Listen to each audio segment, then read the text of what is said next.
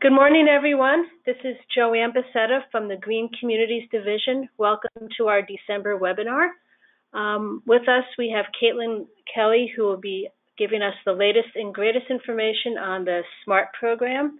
But first, I'm going to uh, talk a little bit about the Green Communities program. Um, our, the Green Communities Division is a one-stop shop for anything energy related for cities and towns. We provide uh, technical assistance, grants, um, resources such as this webinar on anything that's energy related, and um, we can also connect you to uh, folks within DOER and with our partner organizations such as the Massachusetts Clean Energy Center. Um, many of you probably are uh, aware of our Green Communities Grant and Designation Program. That's our hallmark program, but again, we have other resources uh, such as the Mass Energy Insight Energy Tracking Tool, the Technical Assistance Grants for municipalities, and those are available to any city or town or regional school district. You do not need to be a green community for the Municipal Energy Technical Assistance. Uh, the website I mentioned and um, there's a you can see the link to the website there. And um, if you are not on our email list, you can sign up and you can get e-blasts that include information on grant opportunities, webinars such as this, and other items of interest for cities and towns. Oh, trying to advance the slide.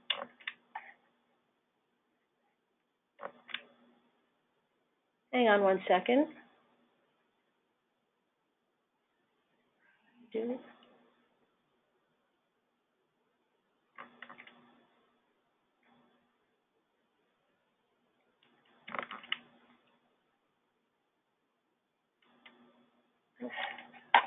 I skipped over previous. Sorry about that.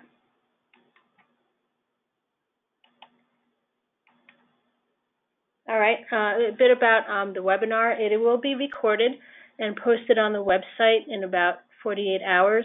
It will include the audio as well as the slides themselves. If you find a slide that has information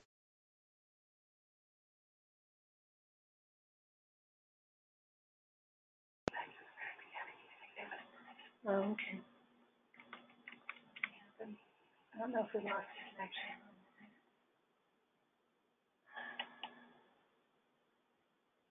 Back to the first slide. Um,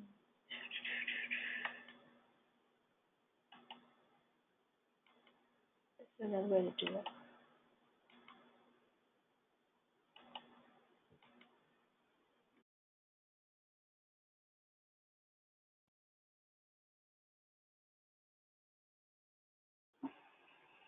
Hi, hi everyone. Sorry about that. I think we had some sort of technical glitch. Um, so um, I don't know if you heard any of the information I just mentioned, and if I did, I apologize for repeating myself, and if I didn't, um, welcome. Uh, this is Joanne Becerra from the Green Communities Division, and welcome to our December webinar, where we have Caitlin Kelly, who will be giving us the latest and greatest information about the Massachusetts SMART program. Um, those of you who are not familiar with the Green Communities Division at the Department of Energy Resources, we are a one-stop shop for anything energy related for cities and towns. Um, you don't have to be a green community to um, contact us, and we can provide assistance with uh, energy efficiency, renewable energy, um, technical assistance, um, other resources that are available within DOER as well as our partner organizations. Um, so uh, one of the main things that we do is the Green Communities Designation and Grant Program. We also provide a free online tracking tool for um, energy use within municipal and school buildings. We also provide municipal energy technical assistance grants, and again, those are available to any city or town or regional school district. And we have um, assistance for energy management services procurement, and a website that has all sorts of resources that uh, cities and towns would find of interest. And you can see the web link there. and also we have a e-blast list. We probably uh, send maybe two a month, so we're not going to flood your inboxes. If you're not signed up, uh, it might be a good idea to sign up if you want information about um, any upcoming grants, webinars, trainings, or anything that might be of interest uh, for cities and towns.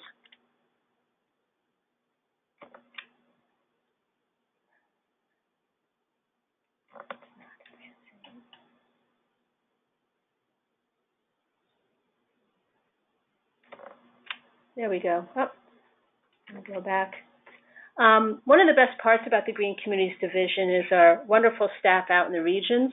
We have Jim Barry in the Western Mass region, Neil Duffy in the Eastern Mass, uh, Kelly Brown in Central Region, and Seth Pickering in the southeastern part of the state. They are uh, embedded, as you will, at the DEP offices uh, in those locations, and they're folks on the ground that can really uh, work with your city or town, uh, come to meetings, uh, phone calls, etc. So if you have not yet reached out to them, uh, please make note of their um, contact information. And um, this webinar is being recorded and it will be posted on the DOER website in about 48 hours. It would include the slides as well as the audio um, recording. If you find a slide that you find particularly interesting and you want to save it right away, there's a handy camera icon in the upper right hand corner of your screen. And if you click on that, you'll take a screenshot of the slide. And also, uh, please note that we will have a Q&A afterwards, and um, there should be a spot on the right-hand side of your screen where you can type questions as we go along. Um, if we end up running out of time and don't get to all the questions, the questions and answers will be posted with the webinar files. And there's uh, my contact information and again the um, email address to sign up for the e-blasts. And with that, I'm going to pass the keyboard and the mouse over to Caitlin Kelly.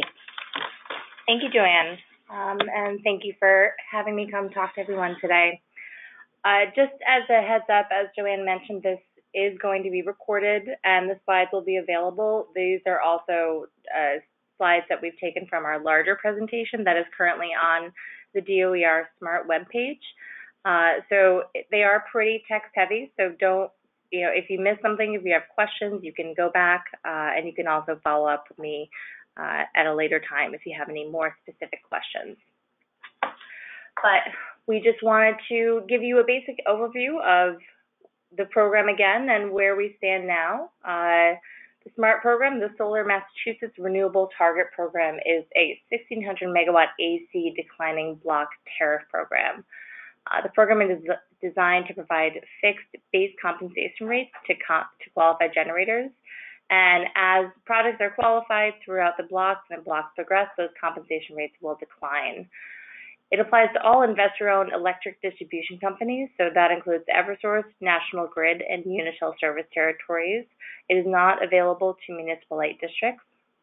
And the way the program is designed is there are two different terms depending on the size of the system that is being qualified.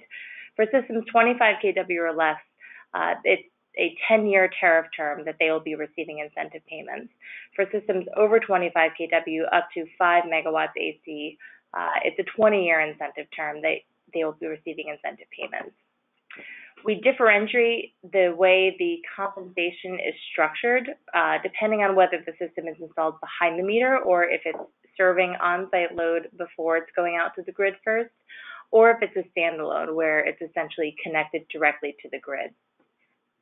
We also have four types of compensation rate adders that are available to eligible facilities. We have location-based adders, off-taker-based adders, energy storage adder, and a solar tracking adder. And each of these categories and the specific adders within them are meant to encourage particular types of program uh, project designs and also uh, to encourage uh, projects that benefit particular communities.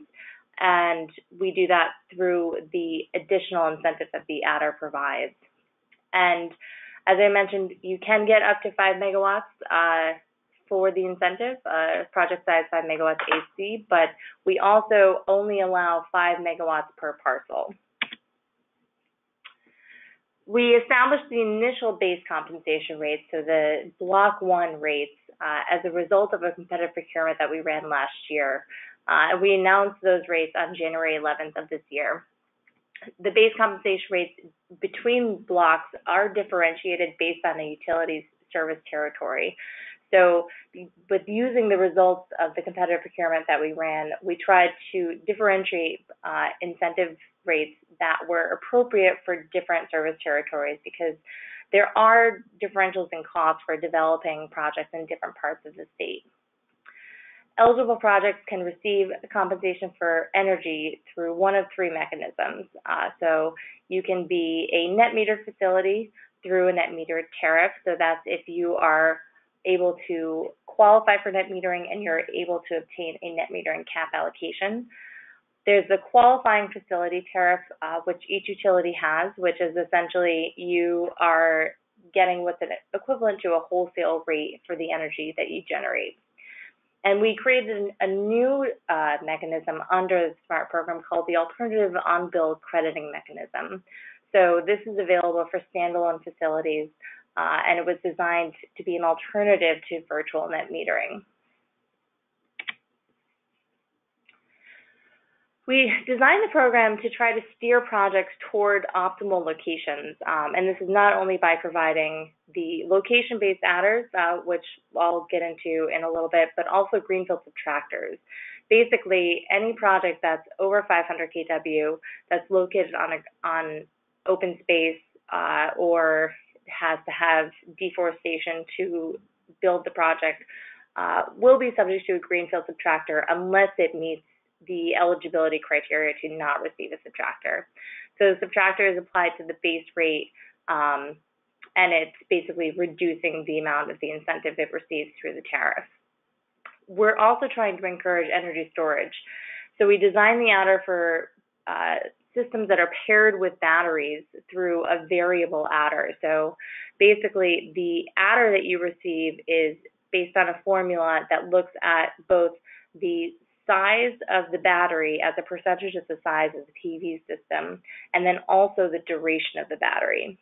And we do have some performance standards and operational requirements for uh, projects that qualify for the energy storage adder and are putting a battery onto the PV system that they're qualifying. So now we have our first poll question um, just to see which service territory uh, our attendees are, are located in today.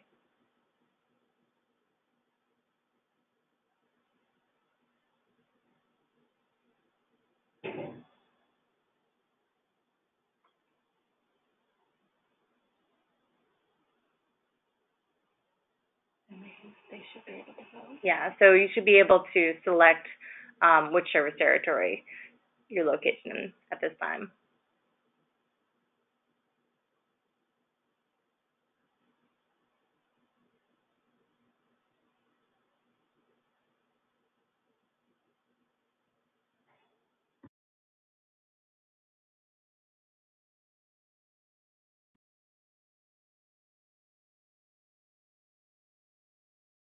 About fifty-four percent are in National Grid Nantucket, twenty-eight percent are in Eversource East, uh, three percent Unitil, seven percent Eversource West, and seven percent Municipal Light.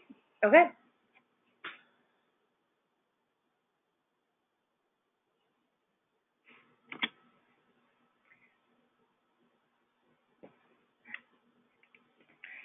So there are a number of factors that impact the actual incentive rate that you can receive under the SMART program.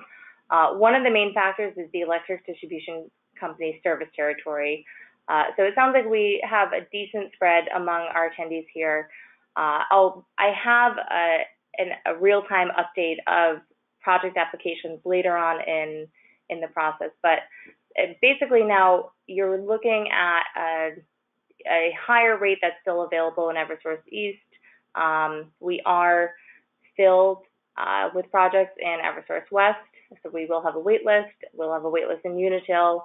Uh, we're still at the highest rate for Nantucket, but for National Grid, uh, we are getting towards the end, uh, towards the lower end of the spectrum, and we're on block seven of eight. So, like I said, we'll get into the details of that later. And the reason that that matters, which Eversource territory you're in and which capacity block you're in, because we have those declining block rates between the capacity blocks. So they decline by 4% for the service territories that have eight capacity blocks. Uh, for service territories that have a lower amount of load, uh, specifically in Unitil and in Nantucket, they don't have eight blocks. Unitil has four blocks, and Nantucket has two. So the rate by which they decline between blocks is higher than 4% to, uh, to match the rate of decline in the rest of the state. The AC rated capacity of the project that you qualify for uh, also has an impact on the base compensation rate and the total rate you receive. Uh, we have a varied structure for incentive rates. So in each block, uh, the blocks decline in general, but the lowest incentive amount goes to the largest projects because they are cheaper to build. So projects one over one megawatt and um, projects that are over a megawatt up to five megawatts are getting the lowest rate. And then projects that are getting the highest rate are 25 kW or less. And then it's a, a tiered rate between those sizes. Another thing that could impact your total compensation rate is whether or not the project is eligible for a compensation rate adder. So you have your base compensation rate and then you can add an incentive if you are building a particular type of project that is eligible for an adder. And then in the same vein, you may get a lower compensation rate if you have a greenfield subtractor that applies. So if you're building an open space, you may be subject to a greenfield subtractor and get a slight reduction. And then finally, you're looking at whether your, your facility is installed behind the meter or as a standalone facility. Um, so basically, if you're building behind the meter versus standalone, we're going to add up what your total value is in the same way between the two different types of projects, but then how we calculate your incentive changes. Um, so we have a way of calculating a fixed incentive payment for behind the meter systems. And for the incentive payment for standalone systems may vary month to month. And we'll get into that details of that in a little bit.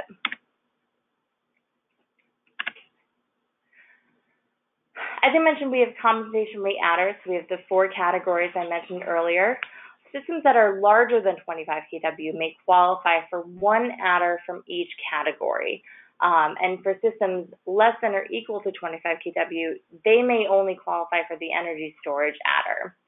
And we have a number of guidelines that I recommend um, reviewing if you're interested in your in pursuing one of these adders.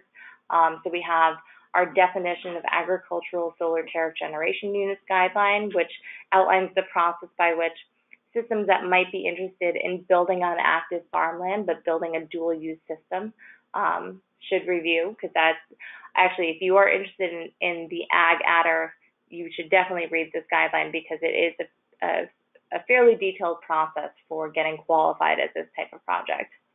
We also have an adder on brownfield, a guideline on the brownfields adder, uh, a guideline and a calculator for the energy storage adder.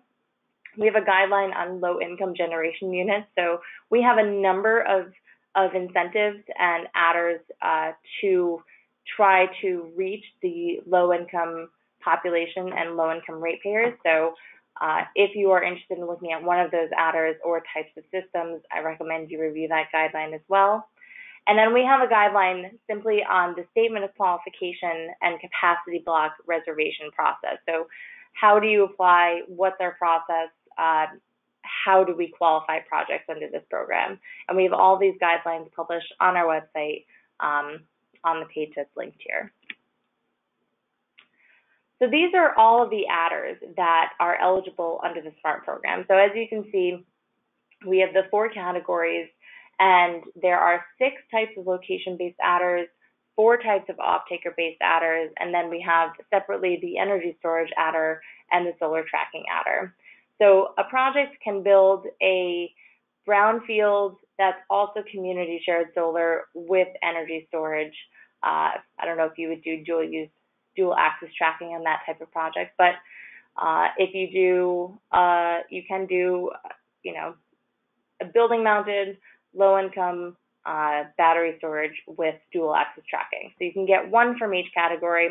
You, however, cannot double up within one category. So you can't do a building mounted brownfield system, um, or you can't do a public entity system that's also a low income property owner, for instance. So you can't double up uh, within a category.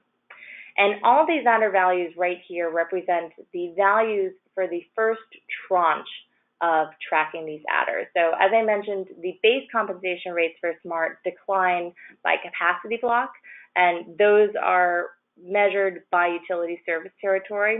For the adders, we established tranches. So we're actually tracking how many projects statewide are qualifying for these adders. And the first tranche is 80 megawatts for each adder. So as of this point in time, we actually have received more than 80 megawatts for both the community shared solar adder and for the battery storage adder. We have not yet received 80 megawatts for the rest of those adders. So we are going to be announcing the tranche sizes uh, fairly soon. We're hoping to get the announcement out in the next few weeks. Um, but obviously, the tranche sizes, since each tranche declines by 4%, will impact the value that an adder may be at when you're applying to qualify for that particular type of project. And again, more information on these adder values and future tranche sizes can be found in another guideline. We have a guideline that lists the values for every capacity block and also uh, the values for uh, different adder tranches uh, on our website.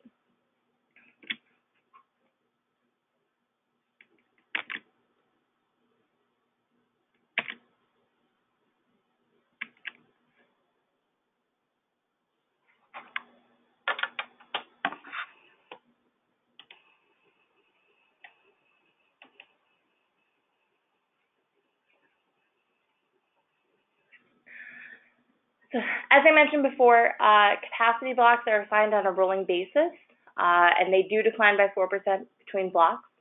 If one project covers two capacity blocks, that project will have uh, a unique prorated rate.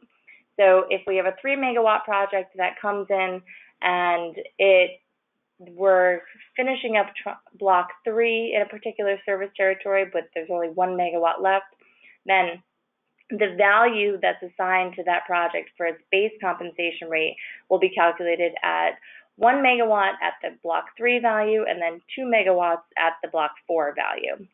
And as capacity becomes available, so if we are on block 8 or if we have a wait list, for instance, if we have projects that uh, fall out, so they become qualified, but then they lose their statement of qualification, the available capacity will be added to the current open block or to the last block available.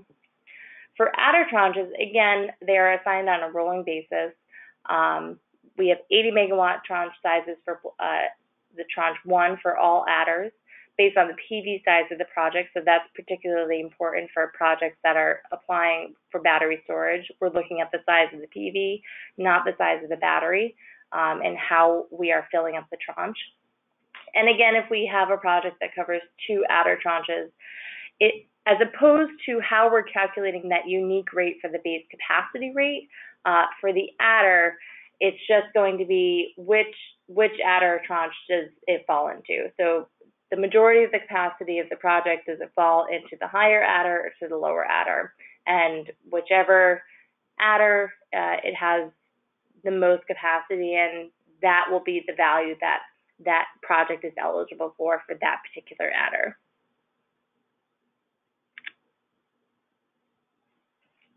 Land use categories. So land use categories are important because this is how we determine whether or not a project is subject to a greenfield subtractor. Category one receives no greenfield subtractor. Category two uh, receives a, kind of a half greenfield subtractor, and category three receives the full greenfield subtractor. And the way that we're calculating it is we're looking at the the acre of the area impacted. So how do we measure that? We're literally just going to be calculating the square footage of the PV panels of the system. And what the category that a project falls into is determined based on a number of factors. Uh, so including, but not necessarily limited to, is the system located on land and agricultural use? Uh, what is the size of the system? Is it ground mounted? Uh, what's the existing condition of the land? What is the zoning of the land? So all of these questions may determine whether or not a project falls into uh, one, two, category one, two, or three. So these are all things you want to look at. And we do have another guideline on land use and siting on our website. Uh, I recommend you review it. And again, if you have any questions, feel free to follow up. So category one, land use. Uh, so category one, we actually have two different types of category one. We have category one agricultural and category one non-agricultural. So if you're building a project and the land that the project is located on is determined to be land in agricultural use, it can only qualify as category one if it qualifies for the dual use ag adder, if it's located on a building, or if it's sized to meet no more than 200% of the annual operation load of a farming operation. So how do we define land and agricultural use? We use two different criteria. One, has the land been in 61A in the past five years, or is it currently in 61A? Or uh, is the land located on prime soils as defined, defined by the U.S. Uh, DANR? So we have maps located on uh, Oliver Mass GIS, which has the prime soils mapped into it. So if you're looking at a site that either wasn't in 61A or isn't currently in 61A, but you have questions about whether or not it's on prime soils, you can use the maps available through MassGIS to review that. And if you have a project that's located on land that's not determined to be agricultural or prime agricultural farmland, then you can also qualify in category one if it's 500 kW or less, if it's a building mounted system, if it's sited on a brownfield or a landfill, if it's located on land that's been previously developed as defined by DOER. So for the for that, basically, like has there been development already on the site um, that you are actually going to build the project? Um, so we're not looking at development on the parcel per se, we're looking at the site. And then we're also looking at whether or not the project complies with local zoning that explicitly addresses solar. So if the town has established a solar overlay district, if the town has uh, a as of right solar bylaw, if the town has established that solar can be built with the granting of a special permit and the special permit is obtained, and if that any of those cases happen, you would be in category one and not subject to a greenfield subtractor. Category two are projects that are located on land that has not been previously developed, but it's zoned for commercial and industrial development. So basically, if it is technically open space or if it's forested land, but the the local zoning is for C&I, then you have a half greenfield subtractor. And category three is basically everything else. So category three, we're looking at large ground mounted systems. And uh, if there's no local zoning, if it's not previously developed, uh, you know, any of that criteria is met, then the system is subject to the full greenfield subtractor.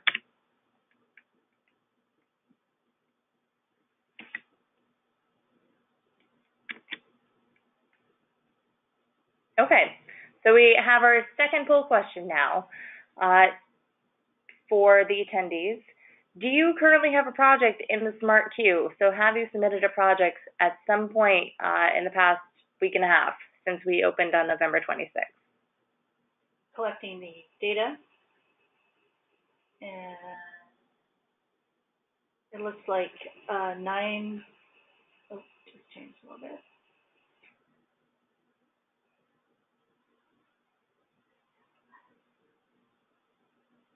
Okay. So it's seventy seventy-six percent of the vote in, it is twelve percent yes, eighty-eight percent no. Okay.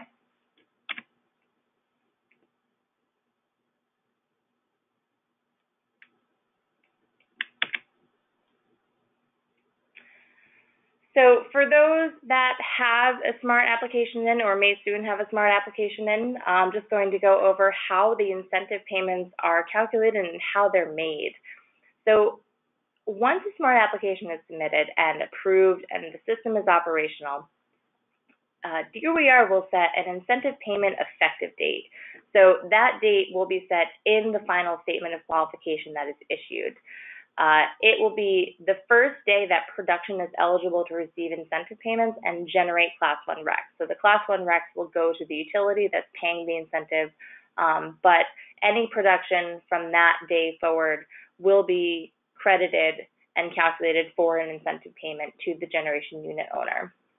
It's generally going to be the same day uh, as the project's commercial operation date, so the date that the utility grants the authorization to interconnect.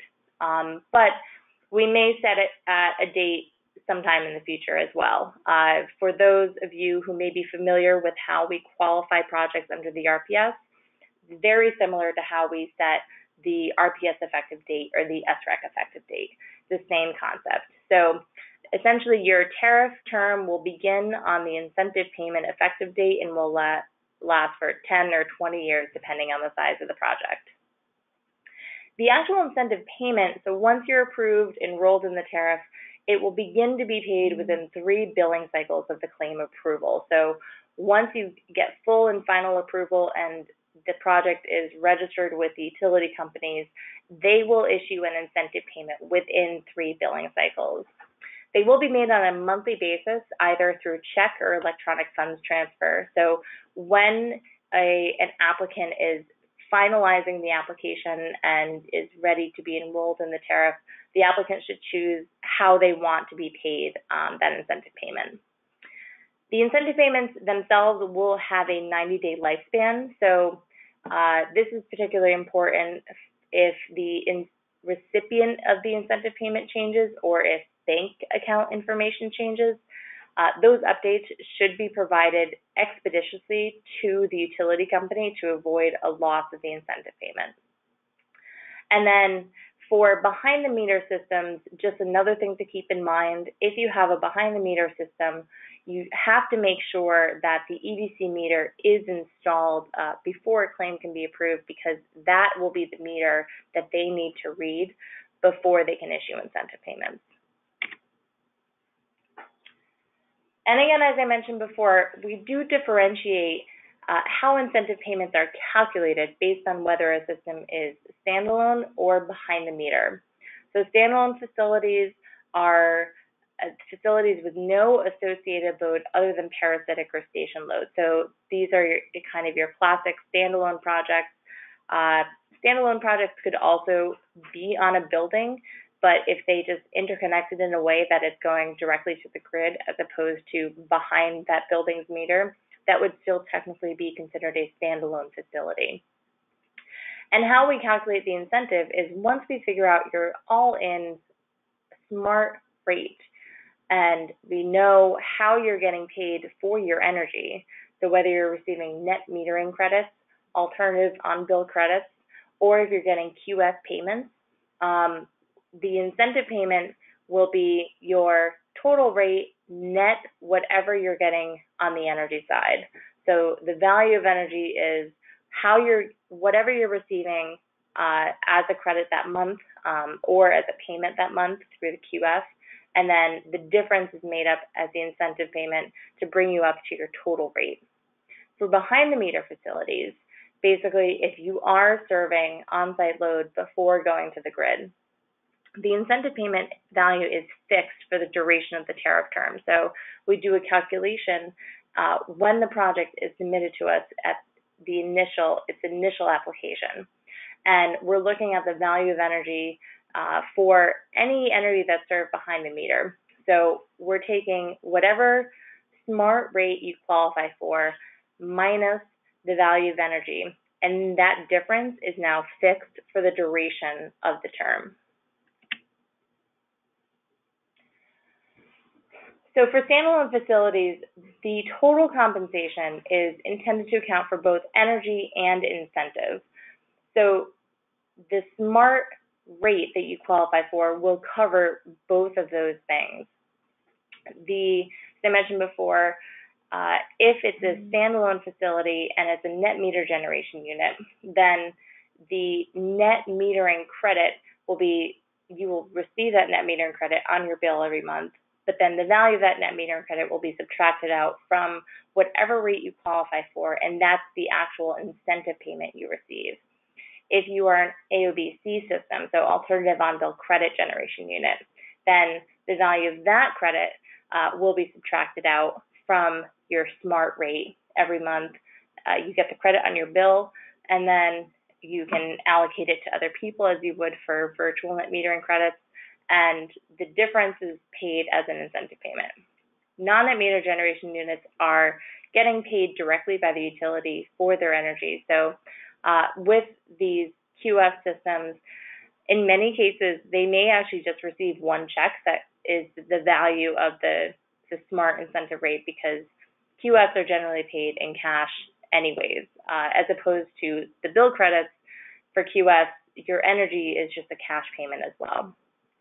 So energy plus incentive will always equal whatever rate you qualify for under SMART. For behind the meter systems, it's a it's more complicated just in the beginning, but the actual incentive payment itself is actually simpler than standalone because it's just the fixed incentive rate that is calculated at the time that you qualify at the beginning times the total kWh that that system generates each month. So there's a lot of text, but essentially what we're taking is the value of energy to approximate the avoided cost of electricity for a system that is serving on-site load. So if you're serving on-site load directly, you're offsetting having to purchase that same kWh at a retail rate. So the way that the, we are valuing that energy is a three-year average of basic service plus current volumetric rates for distribution, transmission, and transition. So we take the combination of those four values, subtract it out from whatever your smart qualified rate is, and the difference is now fixed. So that is what you will be paid as an incentive every month. That amount times kWh. And on our website, we actually have posted the 2018 um, value of energy rates for behind the meter systems based on the utility rate class uh, in each service territory. So you can figure out what you'd probably be receiving as an incentive payment um, for a system that is qualified from now to the end of 2018. Um, and we are working on getting the 2019 values from the utilities, so we should have that posted uh, in the next two weeks as well. What is the AOBC? I've mentioned this before. Uh, it's the alternative on-bill credit. It was approved by the DPU. So it's very similar to net metering. It's just only for smart qualified systems. So it's only in the smart system for standalone projects. Um, the value of the AOBC is set at the basic service rate of the generator. So that's another thing to keep in mind is if you are, for instance, in National Grid service territory and there is no net metering cap space available, so you're building a project that will be qualified as AOBC. The value of those bill credits will be the basic service rate applied to the rate class that the generator is classified as. It's not the basic service rate of the rate class of the customer that may be receiving the bill credits. So if that's allocated to that customer, the value will generally be related to that, usually like a G1 rate of a generator. There's no limit on the number of credits that can be transferred to customers, however. So that is one thing that the DPU did determine that there's no limit um, so you can allocate as many AOBCs as you want to a customer. However, um, they can be uh, cashed out by the utility once a year. Credits uh, must be allocated to a customer bill within three billing periods. So this is something that has been raised to the DPU um, by customers who are utilizing virtual net metering about misallocation of credits, about delay of the allocation of credits. So the DPU did say that the utilities have to start tracking these instances where credits are delayed or there are misallocations. So they are making sure that the utilities are paying attention to that. And then we have a separate form for AOBC systems. So for those of you who may be familiar with how net metering works and filling out the Schedule Z form, we have a very similar form to Schedule Z called just the payment credit transfer form. And that's where you list all of your the off takers that the AOBCs generated by the generation unit can be sent to. So that form can be updated twice a year. Um, so this process is also expected to be automated uh, in the coming years. The, EDCs have said that they are planning on taking steps toward the automation of this process. So hopefully once that happens, uh, that form can be updated more often than twice a year. So I know that we only have some of you who have submitted uh, SMART projects, and many of you have not.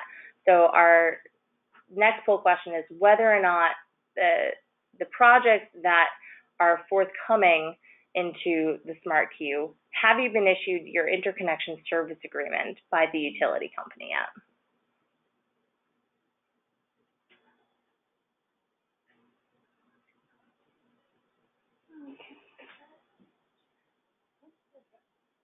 Okay. All right. So the reason I wanted to ask this question is because having the ISA is one of the major requirements for getting into the smart queue. So I'll go over the application process now. So the application process for the SMART program is actually a two-step process.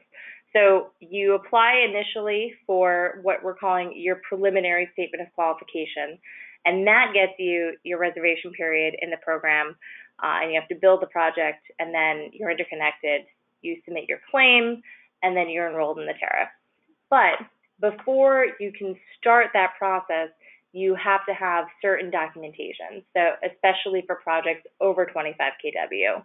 For large projects over 25 kW, you have to have a fully executed interconnection service agreement. Um, you have to have site control or the developer that you have selected uh, to build the project must have site control of the site. And they also have to have been issued all necessary non-ministerial permits. For small systems, we just require the installation contract with the customer. So once that documentation is obtained, you can submit your application through the PowerClerk portal, uh, which is maintained by our solar program administrator, ClearResult. To submit the application, you're issued your preliminary SQ. At that point, you install and interconnect the system, submit the claim, again, through the same portal, the same application portal, showing us that you have received your authorization to interconnect you're issued the final SQ, and then you're enrolled in the tariff and can begin receiving incentive payments. So again, just going over the requirements required to submit your initial application for SMART. For 25 kW or less, uh, we'd need that contract with the installer. We also have a number of customer disclosure forms. So we do require that the installer go over certain points of their contract with the customer and kind of outline them on a form that we've created. And we want to make sure that that is complete and submitted. And for small systems, we have a the highest base compensation rate for small systems on a low income utility rate. So we just need to see proof of that if that is applicable. For over 25 kW, as I mentioned, we need the fully executed ISA, so signed by both the interconnecting party and by the utility company. Um, site control demonstrating to us that the developer, the installer, uh, has access to the site, uh, essentially, so they you know, they can go and they can start building. Um, non-ministerial permits, so these are permits that are uh, basically issued um, with a vote essentially. So if there was a required zoning change, and we need to see that the zoning board approved it. Um, the most common ones for ground mount are the order of conditions as issued by the Conservation Commission, so those are necessary. Uh, if a special permit is required to build the project by the town, then that is necessary. Um, however, for instance, uh, a building permit would be considered a ministerial permit, so that is not required at the initial application. Um, same goes for site plan review. If solar is allowed as of right with just with site plan review, um, we consider that to be ministerial in nature and not required at the initial application. Once the project is submitted um, through the application portal, if there are deficiencies, if there are administrative errors, then we do allow for a 10-day cure period. So once the project is initially reviewed by the Clear Result team, if they find issues, they will send the application back to the applicant telling them what needs to be fixed.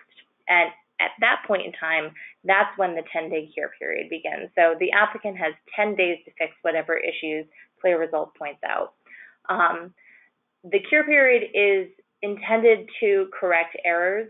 Um, so we just want to clarify it's not intended to provide extra time to procure required documentation. So if documentation is missing and Clear Result returns the application back to the applicant, and that document is then provided, but it's clearly dated after the date of the initial submission, then that would be an ineligible application. Uh, ClearResult will also be looking at adder eligibility. So you can select adders when you are submitting the application through the Statement of Qualification portal. Um, we do have some required documentation for some adders at preliminary application. So we require uh, letters from DOER, for instance, for the ag systems, for brownfields. Um, so if you're building on a landfill, Obviously, the post-closure use permit would be one of the required non-ministerial permits. So that are things, those are things for adder eligibility that Clear Result will be reviewing. However, if you are otherwise eligible, then being ineligible for an adder won't disqualify eligibility for the base compensation rate. So after the project has received its preliminary statement of qualification, it's granted the 12-month reservation period uh, to build the project essentially. Uh, the project can submit a claim. So by the reservation period deadline, uh, the initial 12-month deadline, the applicant must either file a claim demonstrating the project has been authorized to interconnect or file for one of the reservation period extensions. So we have four different extension types. An applicant can pay for a six-month extension for a fee of $25 per kilowatt AC. And this fee is refundable if the project is completed and built.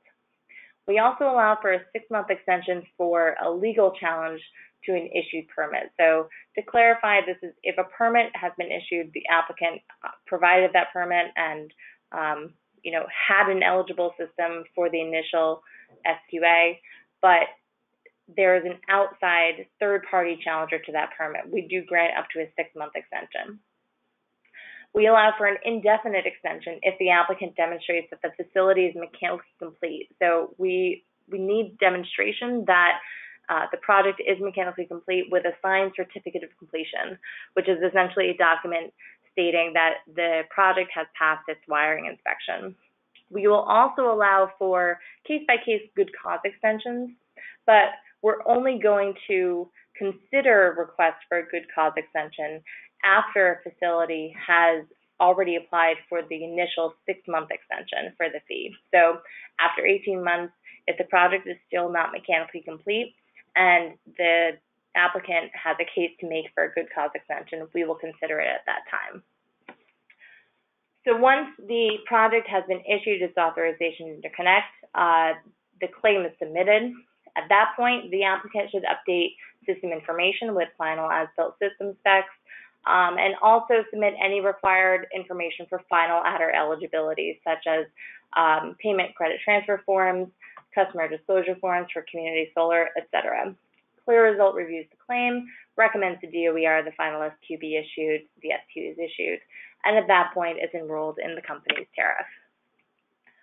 So this is a snapshot from yesterday um, from Clear Results Power Clerk website. So if you go onto the masmartsolar.com website, you'll see links for three different application portals. So there's an application portal for Eversource, an application portal for National Grid, and one for Unitil.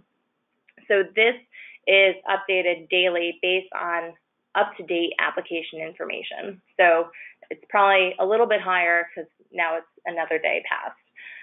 But as you can see, for large systems, we are full in Eversource West, we are full in Unitil, and we're on Block 7 in National Grid. For small systems, we're still in Block 1 across the state. So small systems are coming in as we kind of as we expected at a steady pace of application. So for National Grid, if you are interested in national building a national grid, then I don't know if you have an ISA yet, but you want to try to get that as soon as possible to get the application in.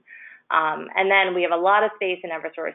So for those of you who are in the Eversource East service territory, we're still on block one for large systems as well as small systems. So uh, we're, I think we're really going to try to see how we can encourage development um, in that part of the state, particularly because that's also where um, the majority of load is. Um, so it's we're seeing it fill up, obviously in the parts of the state with a lot of land, um, but we still have a lot of space in Eversource East. So as of yesterday, we had 643 megawatts of applications submitted. So what are the next steps? As I mentioned, in the coming weeks, we will be announcing the outer tranche sizes for the remaining tranches. And we will also conduct a review of the program when 400 megawatts of preliminary SQs have been issued. So at this point in time, we have received over 2,500 applications, 643 megawatts. So Clear Result is going through all the applications. You know, we're working with them. I imagine it'll take to the end of the month, to the end of this month really, for the first SQs to actually be issued. So the 400 megawatt review, even though we're already starting to look at the data and kind of brainstorm, we won't do an official process until we hit that 400 megawatt mark of SQs, not just app- applications submitted. So that'll likely happen early 2019. Um, and as a result of that review, we may amend the smart regulation and or guidelines. So as I mentioned, you know, while we've obviously seen a, a lot of interest, we have a lot of applications before us. Um, you know, the project, the program is, it appears to be full in certain certain categories in certain parts of the state, but we just we have to kind of look at it and determine what our next steps are going to be in terms of program design.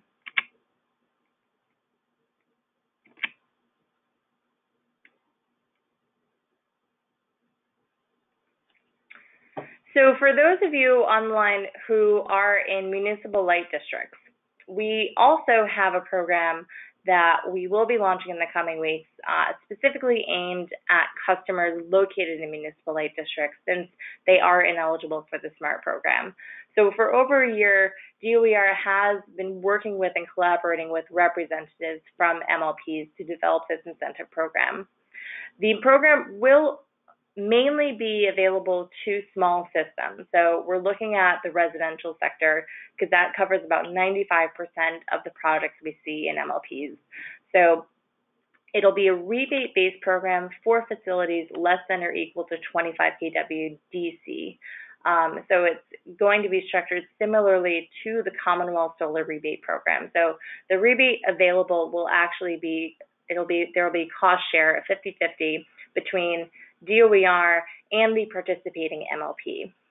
So under this program, uh, again, they'll generate class one recs, but since the MLP is participating in granting this rebate, the class one recs created from eligible systems will be transferred to the MLP um, that they are located in. So we did issue a program opportunity notice. Um, we will announce the results shortly. Uh, we're just kind of working through the final details of that.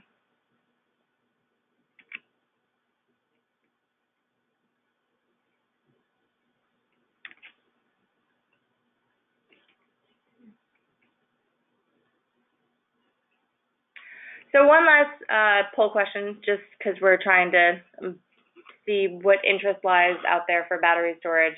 Um, whether or not, for those of you that are looking at projects, uh, that project may also have a battery attached to it. And we're just gonna give people a few seconds to vote here before we close it out.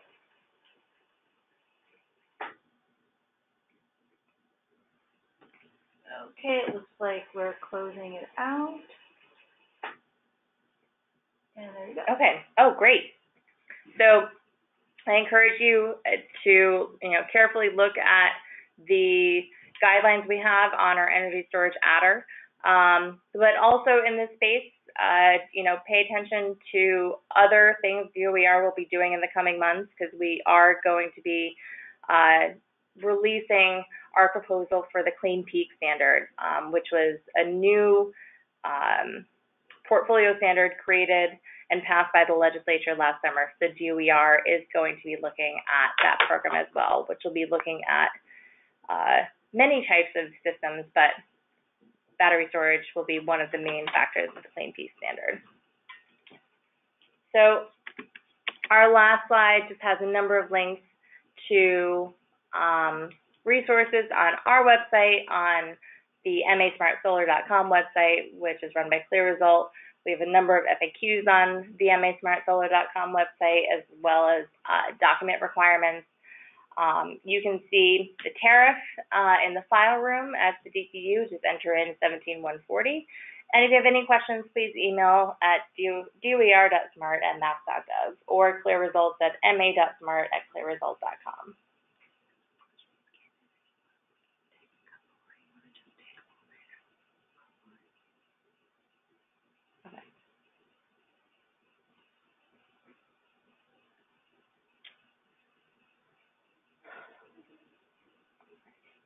Um, so a couple questions.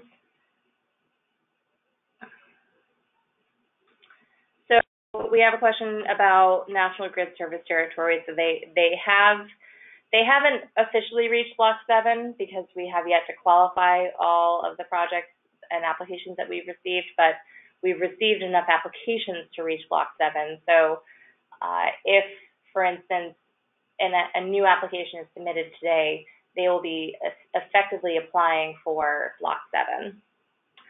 Um, there was a question about what will a sample smart bill look like. So we do have, there's a sample smart bill for National Grid. If you look on our website, um, there are slides put up there that were created by the utility companies. So the majority of them have to do with uh, one-line diagrams for how to install meters on sites, but National Grid also has a sample smart bill, um, so you can see what that will look like.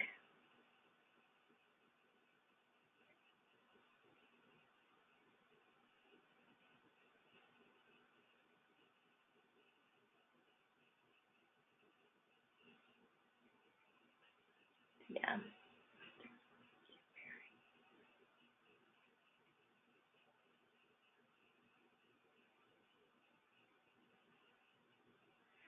there's a question about details of the application. So if you look on our website right now, we actually have a list of all of the applications that we received in block one. Um, so if you look at the DOER website on the SMART page, um, so that list does not represent the queue, so we haven't ordered them in any way. It's just simply the details of the project applications that we've received. So you can see uh, which projects have been submitted, um, which adders are being sought for the different types of projects. So all of that is listed on our website. Yeah. Yeah, and just a reminder that uh, the slides will be posted um, and they will be available on DOER's website.